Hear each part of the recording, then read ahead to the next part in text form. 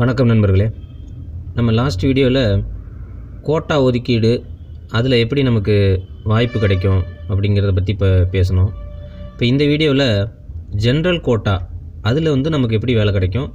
General கோட்டாவை நம்ம எப்படி பார்க்கணும்? முதல்ல நமக்கு இருக்கிற ஜென்ரல் கோட்டாவை நம்ம எப்படி பார்க்கணுங்க பார்க்க போகிறோம் இப்போ ஜென்ரல் கோட்டாவில் நம்ம லாஸ்ட் வீடியோவில் சொன்ன மாதிரி முப்பத்தோரு பர்சன்ட்டு ஜென்ரலுக்கு அதாவது நூறு சீட்டுன்னா முப்பத்தோரு சீட்டு ஜென்ரலுக்கு இப்போ இந்த ஜென்ரலில் வந்து முப்பத்தோரு மெரிட்டு அதாவது முதல் மார்க் எடுத்தவங்க யாரோ அவங்கள வந்து வரிசலாக அப்படியே போட்டுகிட்டே வருவாங்க. அப்படி தான் நம்ம நினச்சிக்கிட்டு இருப்போம். அது ஓரளவுக்கு கூட உண்மை தான் ஆனால் அதுலேயும் கூட பிரிவுகள் இருக்குது நிறைய ஒதுக்கீடுகள் இருக்குது அதில் வந்து இப்போது ஒரு ஆணாக இருந்தால் அவங்களுக்கு என்ன மாதிரியான பர்சன்டேஜ் இருக்கும் அப்படின்னு பாருங்கள் ஒரு இப்போ ஒரு ஆண் ஒருத்தர் ஏதோ மார்க் எடுத்திருக்காரு அவர். ஃபஸ்ட்டு மார்க்கே எடுத்திருக்காருன்னு வச்சுங்க இல்லைன்னா ஒரு பத்தாவது இடத்துல அவர் இருக்கார் அப்படின்னா இப்போ அவர் வந்து அவருக்கு எப்படி இந்த பாசிபிலிட்டி இருக்குன்னு பாருங்கள் முப்பத்தோரு சீட்டு நூ நூறு சீட்டு எடுக்கிறாங்கன்னா முப்பத்தோரு சீட்டு வந்து ஜென்ரலில் எடுக்கிறாங்க. அவருக்கு பாசிபிலிட்டி பார்த்திங்கன்னா ஜிடி அப்படிங்கிற கேட்டகரியில் தான் அவர் வருவார். முதல்ல இதில் என்னென்ன கேட்டகரி இருக்குது அப்படின்னு சொல்கிறேன் ஜிடின்னு ஒரு கேட்டகரி இருக்குது அதாவது ஜென்ரல் டேர்ன் அவ்வளோதான் இதில் எந்த ஒதுக்கீடும் கிடையாது. ஜிடி அப்படிங்கிறது. அடுத்தது ஜிடிடி அப்படின்னு ஒன்று போட்டிருக்கோம். நீங்கள் இப்போ வெப்சைட்டில் போய் பார்த்தீங்கன்னா தெரியும். ப்ரொவிஷன் லிஸ்ட்டில் இதெல்லாம் போட்டிருக்கோம். ஜிடிடின்னு இருக்கும். அது என்ன ஜிடிடினா ஜென்ரல் டேர்மில் தமிழ் மீடியம் ஒதுக்கீடுன்னு அர்த்தம். அது வந்து இருபது பர்சன்ட்டு அப்போ முப்பத்தோரு சீட்டில் இருபது பர்சன்ட்டு தமிழ் மீடியம் படித்தவங்களுக்குன்னு ஒதுக்கிடுவாங்க. அதில் வந்து தமிழ் மீடியம் படிக்காதவங்க வரவே முடியாது. அப்படி பார்த்தீங்கன்னா முப்பத்தோரு சீட்டில் வந்து இருபது பர்சன்ட்னா ஆறு சீட்டு ஆறு சீட்டு தமிழ் மீடியம் படித்தவங்களுக்கு போயிடும்.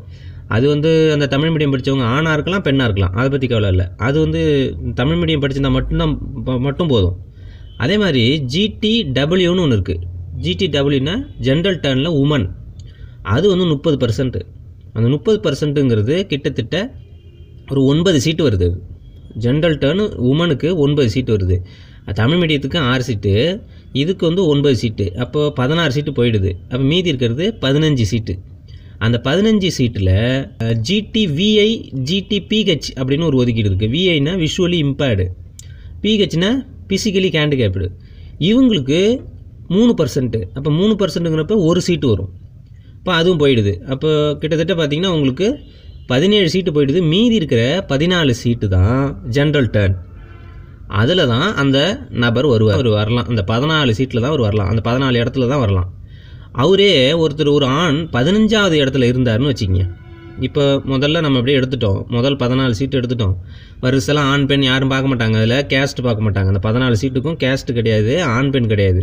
மார்க் தான் பார்ப்பாங்க. அப்போ அந்த மார்க் படி பார்த்தீங்கன்னா அப்படியே எடுத்துகிட்டே வரீங்க. ஒரு நூற்றி பத்து தான் ஃபஸ்ட்டு மார்க்குன்னா அப்படியே குறைஞ்சிக்கிட்டே வரும். நூற்றி ஒம்பது நூற்றி எட்டு நூற்றி ஏழுன்னு அப்படியே போட்டுகிட்டே வருவாங்க. பதினாலு பேர் போடுவாங்க. பதினஞ்சாவதாக ஒரு ஆண் இருக்கார் அப்படின்னா ஆனால் சீட்டு வந்து ஜென்ரலில் முப்பத்தி ஒன்று ஆனால் பதினஞ்சாவதாக ஒரு ஆண் இருக்காருன்னா அந்த ஆண் என்ன அவருக்கு இருந்தால் மட்டும்தான் அவருக்கு வேலை கிடைக்கும் அப்படின்னா தமிழ் மீடியமாக அவர் இருந்தால் வேலை கிடைக்கலாம். அப்படி இல்லைன்னா விஷுவலி இம்பேர்டு அல்ல ஃபிசிக்கலி கேண்டிகேப்டாக இருந்தால் மட்டும்தான் அந்த பதினஞ்சாவது ஆணுக்கு சான்ஸ் இருக்கும். இல்லைன்னா அவர் ஜென்ரல் கோட்டாவில் போக முடியாது. ஆனால் கண்டிப்பாக அவருடைய கம்யூனல் கோட்டாவில் போகலாம். அவரே கம்யூனல் இல்லாமல் ஓசியாக இருந்தால் வீட்டுக்கு வர வேண்டியதான் அப்போது பதினஞ்சாவதாக இருக்கிற ஒரு ரேங்கில் இருக்கிற ஒரு பெண்ணாக இருந்தால் அவங்களுக்கு அந்த பாசிபிலிட்டி உண்டு. ஏன்னா அவங்களுக்கு அதுலேருந்து ஒரு ஒம்பது சீட் எடுப்பாங்க. அந்த ஒம்பது சீட்லேயும் ஏழு சீட்டு தான் மார்க் அடிப்படையில் எடுப்பாங்க. அப்படியே வருசலாக மார்க் படி வரும். அதாவது பதினஞ்சு அடுத்தது அடுத்த ரேங்கில் இருக்கிறவங்க அடுத்த ரேங்கில் இருக்கிறவங்கன்னு ஒரு ஏழு சீட் வரைக்கும் ஃபில்லப் பண்ணுவாங்க.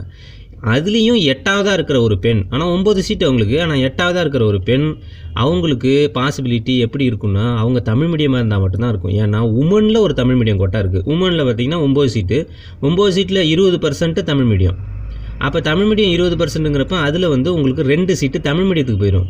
அப்போ ஒரு உமன் வந்து அப்படியே ஒம்பது சீட்டு நமக்கு இருக்காங்கன்னு சொல்லிட்டு இந்த உமன் போனாங்கன்னா அவங்களுக்கு ஏழு பேர் தான் ஃபில்லப் பண்ணுவாங்க. மீதி ரெண்டு பேர் தமிழ் மீடியத்தை தான் ஃபில்லப் பண்ணுவாங்க. அப்போ அதில் ஒம்போதில் ரெண்டாக பிரிஞ்சுது. ஒம்போதுமே லேடிஸ்க்கு கிடையாது. ஒன்று அடுத்தது. மார்க் வந்து பார்த்திங்கன்னா தொண்ணூ தொண்ணூறு மார்க் வரைக்கும் இறங்கி வந்தாச்சு. தொண்ணூறுக்கும் கீழே வந்து ம- நிறைய பேர் தொண்ணூறுக்கு கீழே இருக்காங்க. ஆனால் அதில் விஷுவலி இம்பேர்டு ஃபிசிக்கலி கேண்டி அப்படி இல்லைன்னா அவங்க அறுபதில் இருந்தால் கூட அவங்களே எடுத்துக்கிடுவாங்க அந்த ஒரு சீட்டை அவங்களுக்கு கொடுத்துருவாங்க. அதனால தான் நீங்கள் பார்த்தீங்கன்னா லிஸ்ட்டில் பார்த்தீங்கன்னா அறுபது மார்க் எடுத்தவங்களுக்கு எல்லாமே கூட கிடச்சிருக்கும். அவங்களுக்கு இந்த மாதிரி கோட்டாவில் வந்திருப்பாங்க. அதனால் இப்போ நான் ஜென்ரலாக இப்போ நான் இருக்கிற அந்த கோட்டாவை வந்து முப்பத்தோரு சீட்டுங்கிறத நான் வந்து எப்படி சொல்கிறேன் மாதிரிங்க ஜென்ரல் டெனில் பதினாலு சீட்டு ஜென்ரல் டென் தமிழ் மீடியத்தில் ஆறு சீட்டு ஜென்ரல் டென் உமனில் டோட்டலாக ஒம்பது சீட்டு அதுக்குள்ளே வந்து தமிழ் மீடியம் ரெண்டு சீட்டு போயிடும். அப்போ ஏழு ப்ளஸ் ரெண்டு. அதுக்கப்புறமா ஃபிசிக்கலி ஹேண்டிகேப்டுக்கு ஒரு சீட்டு அப்போ இப்படி தான் பிரியும் உங்களுக்கு இந்த ஜென்ரல் கோட்டா முப்பத்தொரு சீட்டும் அதனால் இப்போ ஒருத்தர் ஆண் இப்போ நான் ஒரு ஒரு பாசிபிலிட்டி சொல்கிறோம் யார் யாருக்கு பொருந்துன்னு பார்த்துக்கோங்க ஒரு ஆண் வந்து தமிழ் மீடியம் இல்லை விஷுவலி ஹேண்டிகேப்டு இல்லை அப்படின்னு சொன்னால் அவருக்கு நூறு சீட்டு எடுத்தாங்கன்னு சொன்னால் அவருக்கு பதினாலு சீட்டு வந்து ஜென்ரலில் போகிறதுக்கான பாசிபிலிட்டி இருக்குது அதோடைய அடுத்தது அவருக்கு கோட்டாவில் அவருக்கு இருக்குது அவர் என்ன கோட்டாவோ அதுக்கு தகுந்த மாதிரி இருக்குது நான் கோட்டாவை பற்றி நான் அடுத்த வீடியோவில் போடுறேன். அப்போ கோட்டாவில் அவருக்கு இருக்குது அப்போ ஜென்ரல்லேருந்து அவர் பதினாலு சீட்டுக்கு போட்டி போடலாம்.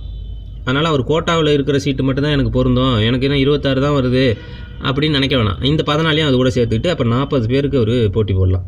இப்போ ஒரு அதுவே ஒரு உமனாக இருந்தால் உமனாக இருந்தால் அந்த பதினாலுலேயும் சேர்த்துக்கணும். அந்த பதினாலு சீட்டும் அந்த உமனுக்கு உண்டு. அது மட்டும் இல்லாமல் ஜென்ரல் டேம் தமிழ் மீடியம் இல்லாத உமன் சொல்கிறேன் தமிழ் மீடியம் இல்லாத உமனாக இருந்தால் ஜென்ரல் டேர்னில் அவங்களுக்கு ஒரு பதினாலு சீட்டு அதுக்கப்புறம் உமன் கோட்டாவில் ஒரு ஒம்பது சீட்டு அது ஒம்போதில் ஏழு சீட்டு மட்டும் அவங்களுக்கு பொருந்தும். அப்போ இருபத்தோரு சீட்டு உமனாக இருந்தால் அவங்க எடுத்துக்கலாம். இருபத்தோரு சீட்டு அதுலேயும் கோட்டாவிலையும் அவங்க எடுத்துக்கலாம். இப்போது தமிழ் மீடியம் படித்த ஒரு ஆணாக இருந்தால் அவருக்கு இந்த பதினாலு ப்ளஸ் தமிழ் மீடியத்தில் ஒரு ஆறு சீட்டு இருபது சீட்டை ஜென்ரல்லேருந்து அவர் எடுத்துக்கலாம்.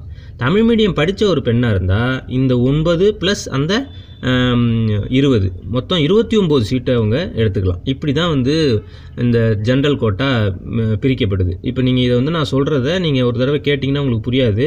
ஒவ்வொரு தடையும் நான் சொல்லும்போது அந்த பர்சன்டேஜை எழுதி வச்சுக்கோங்க. எழுதி வச்சுக்கிட்டிங்கன்னா உங்களுக்கு அடுத்த தடவை அதை கம்பைல் பண்ணும்போது உங்களுக்கு ஈஸியாக இருக்கும்.